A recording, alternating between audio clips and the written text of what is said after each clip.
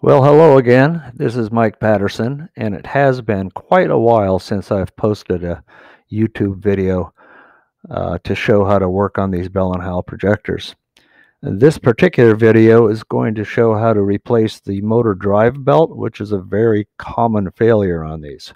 So without any further ado, let's get into it. I'm going to go ahead and uh, plug this machine in for a moment so you can hear all the noise.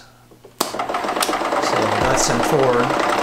All that slapping, most of that is the fan belt trying to come off. A little bit of it is the gear. This has a bad gear, as I said. So that's what we're trying to fix. If you ran uh, film through it, you'd also see that uh, it wasn't, it wouldn't be running at a constant speed. So um, I'm going to go ahead and unplug this. You always want to unplug them before you crack the case because it, it does run on 120 volts. So I'm going to turn it around and uh, take this back cover off. There's two covers. There's this little access cover has four screws and then the bigger cover has seven. So let's take the screws out.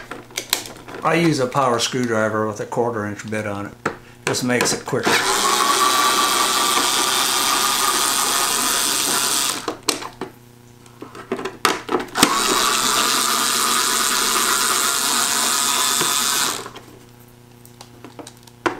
This is a uh, Bell & Howell 1585 if you're curious. But as I said, most of the 1500 series are very similar on the inside.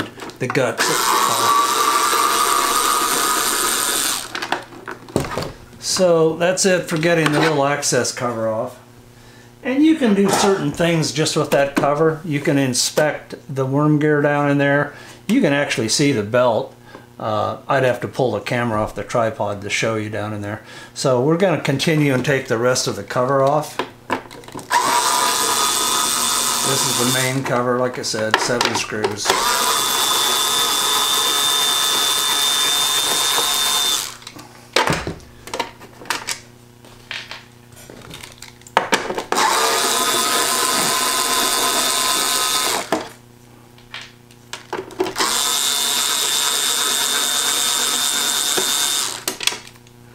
It's interesting that they use two different kinds of screws here actually. This little machine screw actually fits the access cover and these longer self-tapping type screws are around the uh, main cover. So now I have to switch over because down here these are Phillips. So put a Phillips bit on here.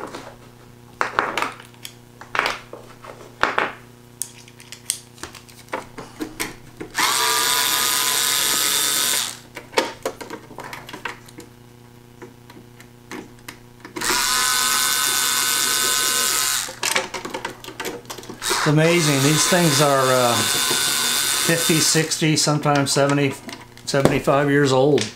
And uh, they do hold up pretty good, but they don't hold up forever. So what you have to do now is when you take this off, you go ahead and feed the plug through it. So now that we've got the back off, we can see the uh, belt and the gear a little bit better. Let me zoom in just a little bit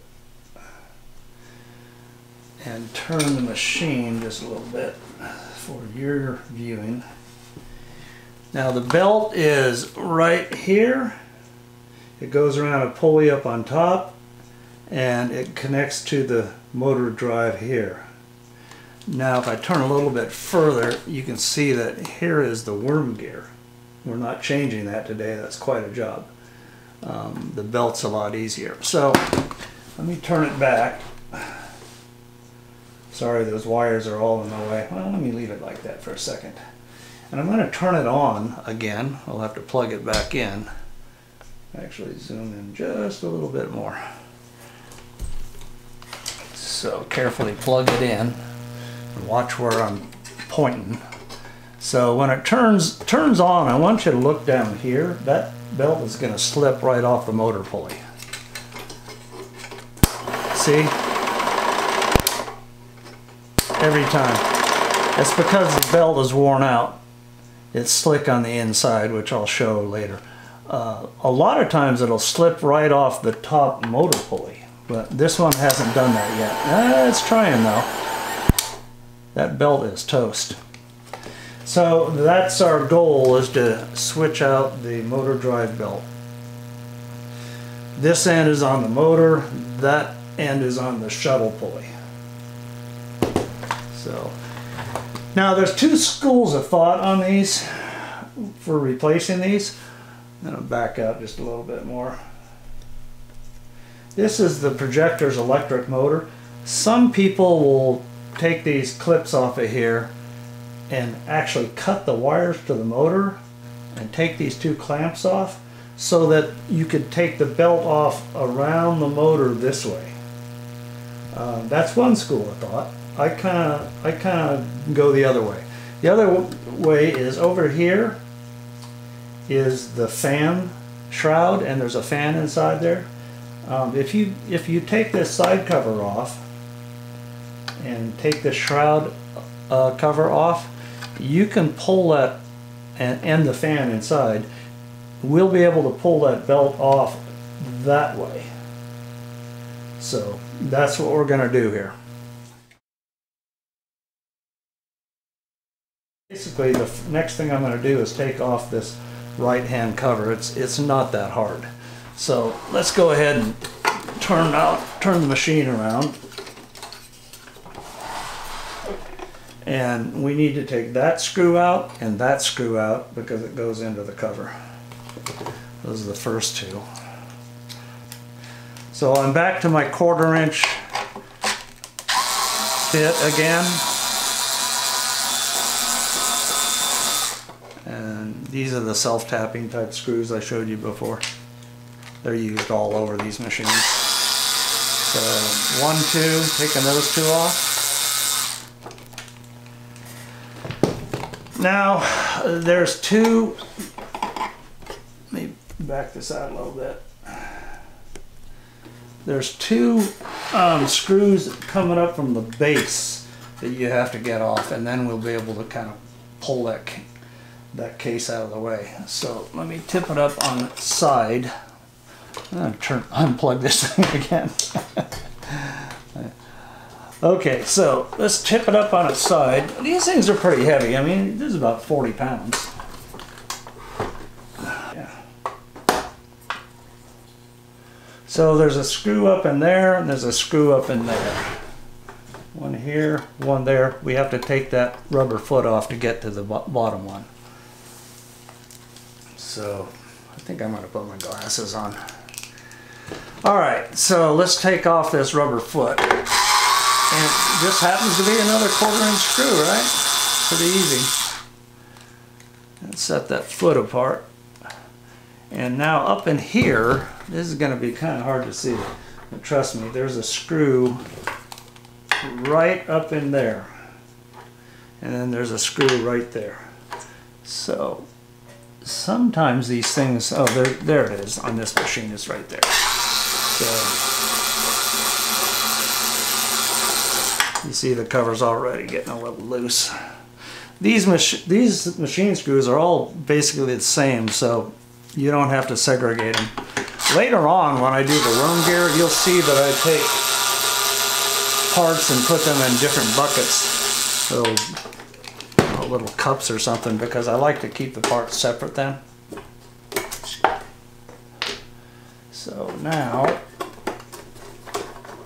should be able to get this off in a minute.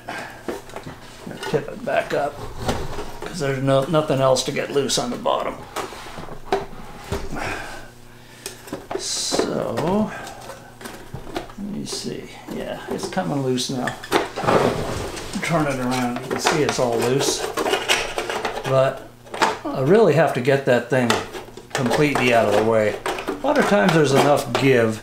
You see right here, there's a little wire wrap holding those wires together.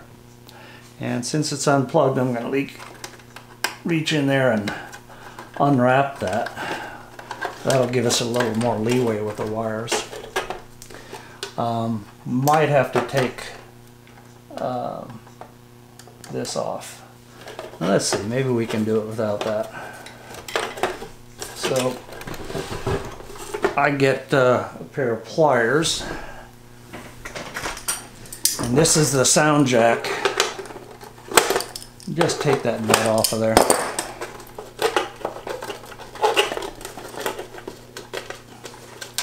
And with that nut and washer off of there, that gives you quite a bit of room to play. So we're just going to pull that around. You don't want to take too many things off if you don't have to. And the next thing to do is to take this um, fan shroud off of there. And there's two bolts down here, one here, one there, and one down there. So just keep going. Yeah, might as well take these off first, I guess. Doesn't matter. And those are short ones. You want to remember that those are very short. And they're it's kind of silver. I mean, you can make a mental note of it. As long as they get back in. So take those two off. This one under here is a little hard to reach. Um, you want to know something?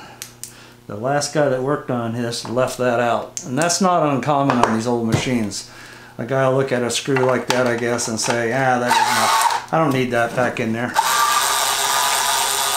let's say we took it off.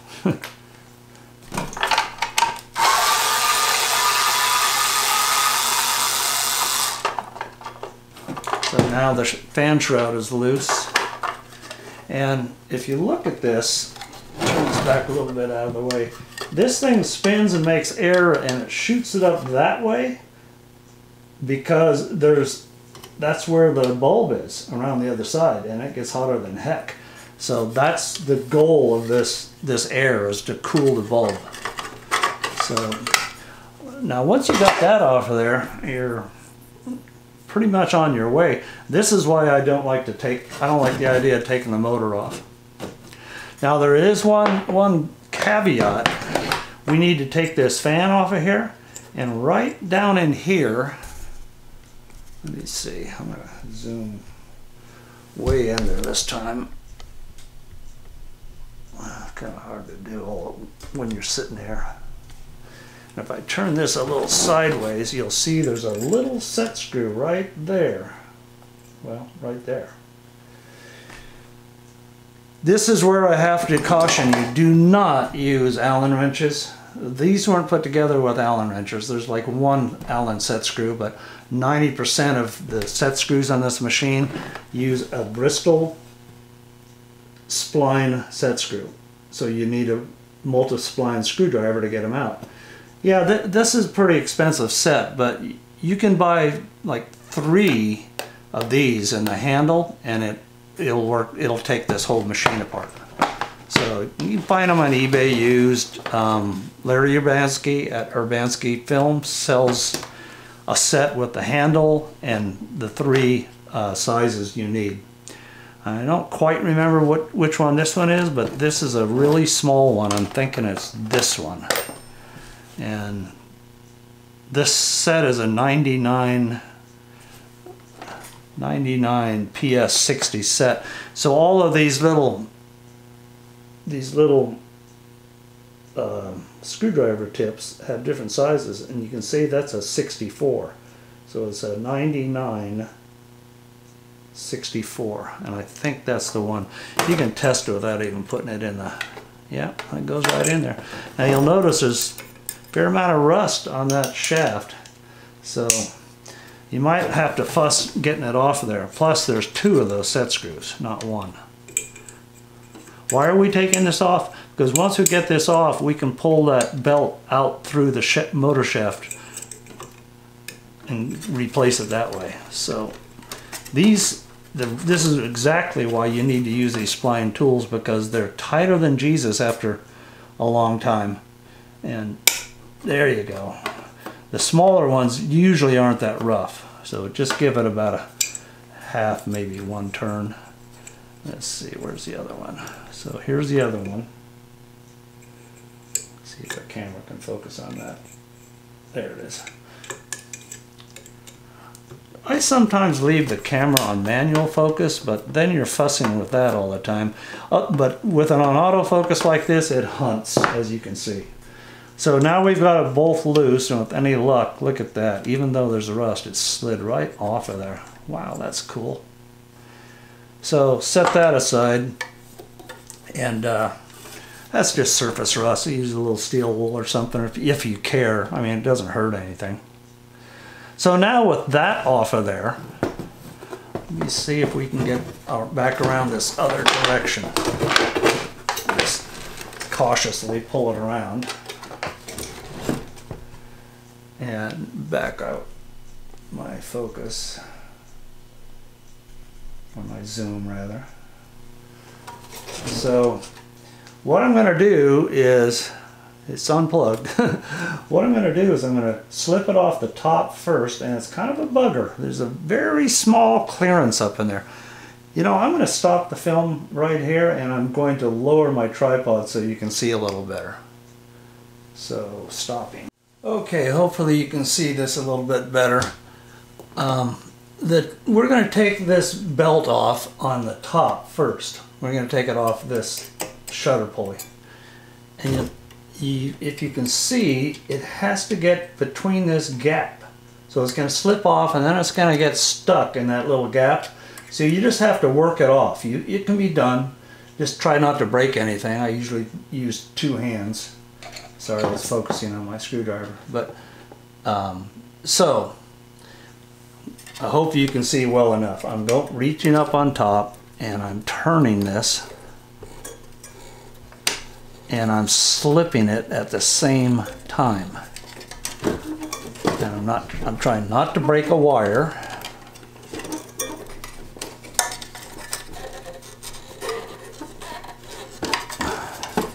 And of course it's fighting me. Sometimes I'll just take this shroud off. Um, this little, this is the back side of the fan housing. But uh, usually I can get it off. There it goes, it just slipped off the top and it's still fighting me, even when you get it that far. What you can actually do is, you see down here, I'm going to pull it off and around the end of the motor shaft, and then I have a lot more give. And it, yeah, it'll stretch that far, it won't hurt it. Okay, and make note that that belt goes through this wire keeper. It kind of keeps it in place from going left or right too far. So now that it's even more loose, just keep working it, keep turning the, the shutter pulley. And this one is being a particular bugger.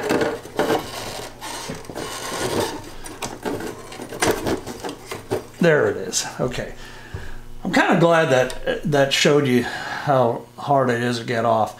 There's other options. You can take this off and it'll give you more room to work. And if you go around the other side, you can take off the, the pieces that surround the uh, projector bulb itself and you can get to the other side of that pulley and use your hands from both sides. Usually this works.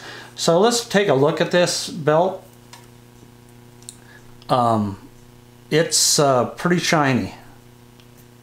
This isn't as bad as some of them, but it's worn out or it wouldn't be slipping off. I guess they can only stretch so far.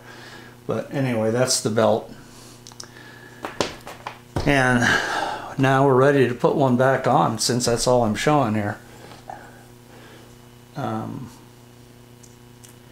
actually, you know, there's a fellow called Paul Ivester. He has a website. Uh, I haven't been out there a long time. He's the one that actually showed me uh, showed everybody how to take this belt off from that side instead of taking the motor out. And now I, I prefer it. So gonna, we're gonna we're gonna take this belt and we're gonna go up like that. Okay. Okay, so now it's time to put this belt back on. There's a new belt on. Um, I want to show this from a couple of different angles because once my hands are in there, I don't think you're going to be able to see much. But this is the upper pulley I've manually focused on. That belt will go in this gap to get to the back side and there's not much room in there. So it'll wrap around that top pulley and on the bottom, turn it this way now, it's going to go around this motor pulley. Alright, so let me try to get started And get this cover a little bit to one side, you might be able to see something. So you put it through the back of the fan shroud, okay? Same way it came out. And then up through this wire guide. That wire guide right there. So, there you go. Once it's through the wire guide, you can reach up and pull. And now, now you're halfway on there. So there's two different ways you could you could fight this thing on there. I'm going to try the first way. One is put it on the motor pulley first and then just try to stretch it around the top pulley. So let's try that first. If that doesn't work, I, I will try to put it on the top pulley and then stretch it over the motor shaft and around the motor pulley. Alright, so let me try this. Hopefully you can kind of see what I'm doing. I'm not sure what the best angle is. These wires are always in the way when you're trying to show somebody. So you notice how I'm working with the hands on both sides. I'm going to put it over the top of that pulley all the time turning the belt sideways so it'll fit in that gap and that's the shutter pulley and then just start turning the shutter pulley as it is. You know it's kind of like a drill press anything that you got to stretch a belt around a pulley you turn the pulley while you're holding the belt and it's on there. Okay so I'm gonna go even further. Now it's on the top pulley the shutter that's the shutter back in here so that's the shutter pulley. And it's on the motor pulley. Okay. So the next step is is uh, just double checking your work. So this machine won't burn up. You can see it's turning very nicely now. It won't burn up if I run it for a second. I want you to be able to see this. Uh, you wouldn't want to run it very long. The bulb would burn. Um, but for a moment or two, we can plug it in and do that. So I'm going to plug it back in. There's nothing in the way. And just check our work and make sure that pulley stays on. So going to forward. And there you go. And that, that belt looks perfect. Now, all the noise, the bad noise you hear in here is that worm gear. That's where all that crappy noise is. So the belt's on there. That's pretty much it in a nutshell. Um, I'm not going to show you step by step putting everything back together, but I think I will um, show you putting that fan back on first because the rest of it's just screws. So I'm going to unplug it.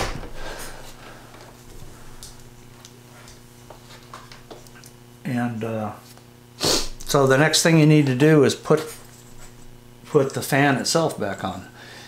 And you always kind of pay attention how it came off, but all you got to remember is the pulley, the fan pulley is pretty much flush with the end of the motor pulley and the set screws you can always see them. I mean you wouldn't put it on that way. So alright so slide it over there turn the machine hopefully we can see and you see that's on too far, and that would be not enough. So pretty much flush. I've seen some that were a little bit off. and I don't know why. Maybe it was rubbing somewhere. So then take your, what did we say it was? A number, I don't even remember anymore.